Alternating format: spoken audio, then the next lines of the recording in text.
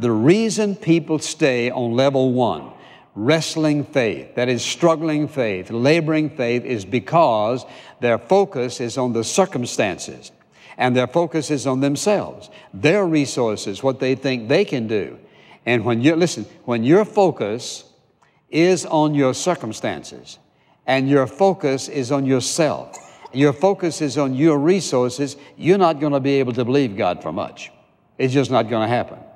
Because all of us have limited resources, whether it's abilities and talents and skills or finances. And so as long as you're, as long as you're asking and your belief system, you're on level one, it, it is the level of struggle, uncertainty, doubts, laboring, and what happens? You're going to find that what you're really looking for in life, it always seems to be a little bit beyond you.